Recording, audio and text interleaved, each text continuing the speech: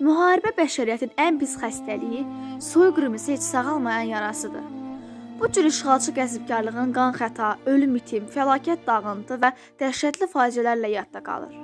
Ona görə də yaraları dərin və sağalmaz iz buraxır.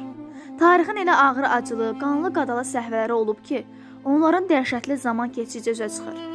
Yaralarından qan süzülür. Sağalmasına heç bir ümid qalmır. Elə Xocalı müsibəti kimi.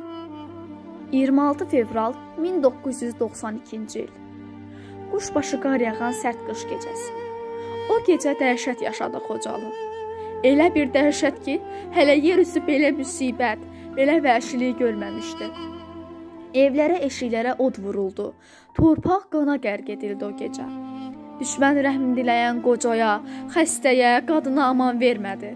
Uşaqlar valideynlərinin gözləri qarşısında xüsusi qəddarlıqla qətlə yetirildilər.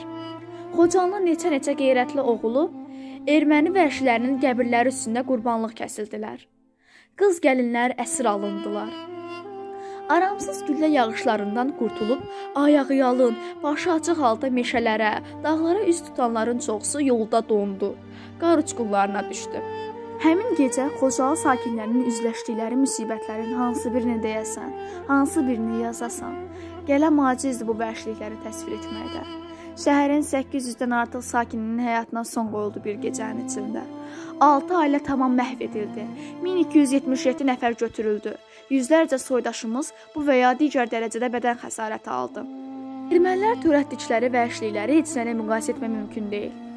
Onlar öz bədnam hərəkətləri ilə tarixdən tanıdığımız ən qəddar hökmdarların zülmkarlığını belə kölgədə qoydular. Bu vəhşiliklər həmişə hər yerdə özlərini məzlum, yazıq türklərin təqriblərinə məruz qalan bir xalq kimi təqdim edən ermənilər xislətini iç üzünü açıb bütün dünyaya göstərdi. Xocalı soyqırımın epizodları insana dəhşətə gətirir.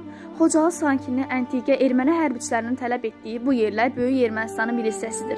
Sözlərini dilinə gətirmədiyinə görə ermənilər tərəfindən diri-diri yandırıldı. Digər Xocalı sakini Səriyə Talıbova danışırdı ki, 4 Mesxeti türkü və 3 Azərbaycanlının erməni qəbrinin üzərinə başını kəsdilər. Sonra daha 2 Azərbaycanlının gözlərini çıxartdılar. Cinayət cəzasız qalmamalıdır. Ermənistanın hərbi siyasi təcavüzü dünya ictimaiyyəti tərəfindən ittiham edilməlidir. İllərdir dünyadakı dırnaqarası böyük güclərin Xocalı dəhşətinə olan susqunluğunu Azərbaycan əskəri pozdu. 30 illik cinayətkar öz e, cəzasını yiğidlərimizin əllərindən aldı. Xocalı ən böyük yaramız idi. 44 günlük dastanın ilk günündən həm ön cəbhədəki əskərin, həm də xalqın gözündə canlandı Xocalının naləsi. Bu inamla, bu hisslə 2020-ci il noyabrın 10-cu gününün ilk saatlarında mütləq qələbəmiz imzalanan müqaviləyə bir daha təsdiqləndi. Silahlar sustu, qələmlər danışdı. İgidlərimizin qarşısında aman dilənən düşmən diz çökdü və biz gözyaşlı Xocalımızı xilas etdik. O yerləri ilk ziyarət edən də məhz Ali Baş Komandan İlham Əliyev oldu.